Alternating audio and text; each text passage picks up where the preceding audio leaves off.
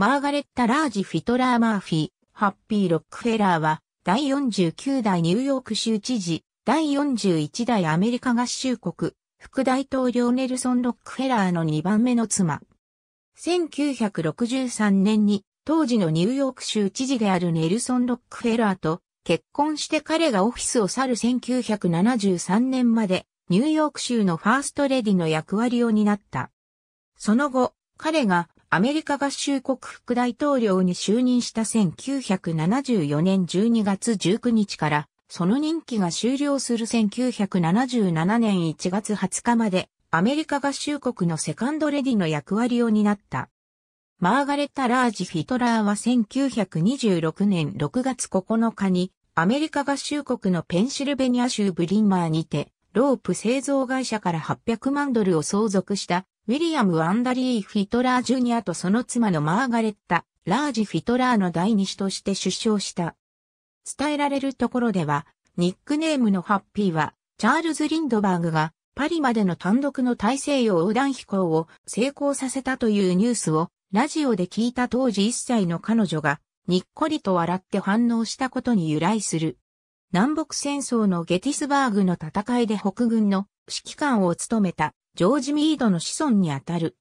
父親はアルコール依存症持ちであり、母親は社会的な野心から子供たちと一緒に過ごす時間は少なかった。10歳の時に両親は離婚した。1944年にシプリースクールを卒業した。1949年にロックフェラー研究所でウイルス研究者として働く6歳年上のジェームズ・スレーター・マーフィーと結婚した。二人はジェームズ・ビーン・マーフィー2世、マーガレッタ・マーフィー・ビックフォード、キャロル・マーフィー・ライデン、マリンダ・マーフィー・メノッティの4人の子供を設けている。マーフィーがデビッド・ロックフェラーと友人であったことから、マーフィー夫妻はニューヨーク州に移り住み、ロックフェラー家の社交サークルの一員となった。当時すでに妻を亡くしていたジョン・ロックフェラー2世の話し相手となり、彼もマーガレッタを実の娘のように思っていたという。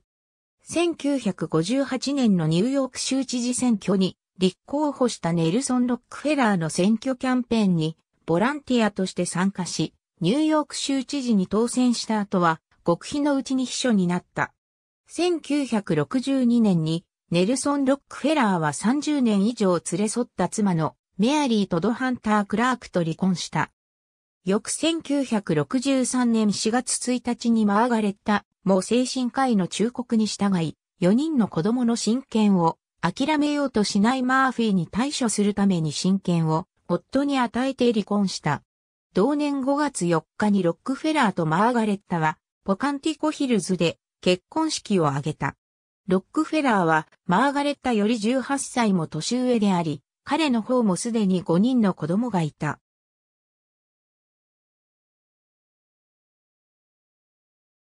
最初の夫と離婚して4人の子供の親権を放棄し、そのわずか1ヶ月後にロックフェラーと再婚したことから、中流社会から激しい非難を浴び、魔性の女のイメージが定着した。イギリスでは、マーガレッタは、ウィンザー公爵夫人、ウォリス・シンプソンになぞらえられた。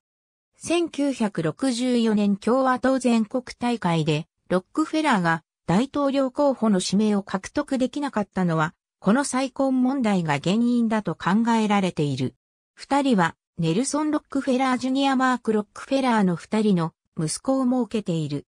ネルソン・ロックフェラーは1979年に心臓発作で亡くなったが、25歳の秘書ミーガン・マーシャックの住まいで副上司を遂げていたことが明らかになった。当初はこの愛人の存在が伏せられていたため、二人の関係について様々な憶測が流れた。後年になると夫に政界からの引退を流し、ポカンティコヒルズの邸宅で共に過ごす時間を増やしたいと考えた。